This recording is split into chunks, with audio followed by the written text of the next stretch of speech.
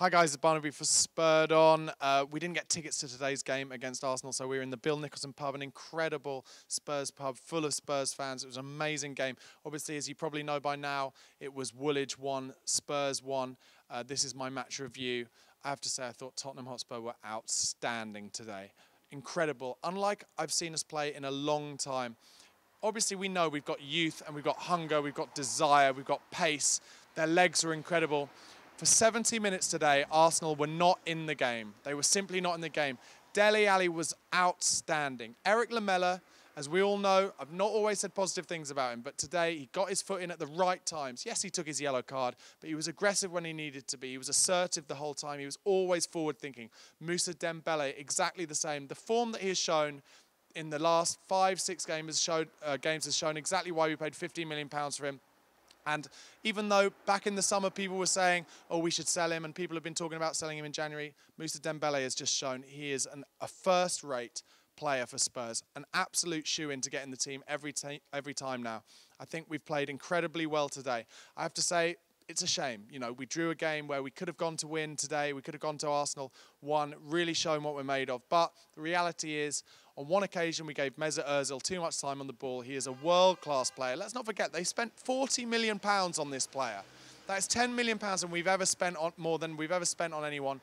We gave him too much time. He got a great cross in, and Kieran, Kieran Gibbs got in on the back stick. Some people will say Lloris should have saved it. I don't really agree. He was kind of six, seven yards out, and it's just instinct from there. It really is. Lloris couldn't really have done any more. It came in off the post as well. What can he do? You know, I think there's an element of we'll all feel mm, we should have won that game. We could have won that game, but can we be disappointed with getting a one-all draw at the Emirates when we're unbeaten in 11 games now? Everyone, you know, all the uh, articles in the in the mainstream news uh, sports press this week have been saying how brilliant Pochettino is, how he's getting the young players through, how well Spurs are playing, and today just absolutely it, it solidified those viewpoints. It was an incredible performance from Spurs.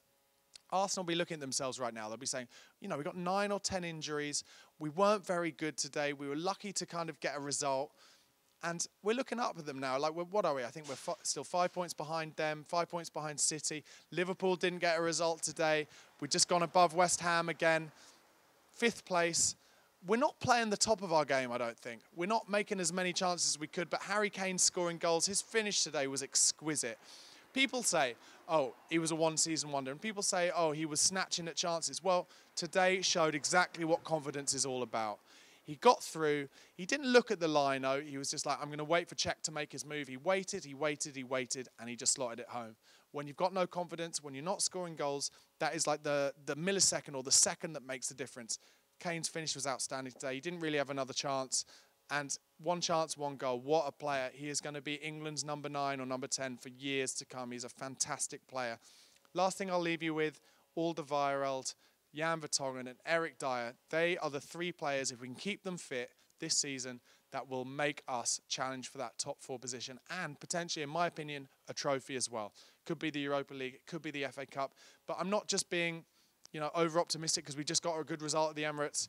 I think we are just building the momentum and building the momentum and young players coming through as well. Josh Onomah, Harry Winks, Tom Carroll coming in if we get injuries the hunger is there, the desire is there. And I'll leave you this. One thing I said to the person I was watching the game with today, imagine this time last season we had Vlad Chiriches to bring on. That's it. There's no Vlad Chiriches this year. There's no one who is not up for it, hungry, and a great player. There's just youth and belief.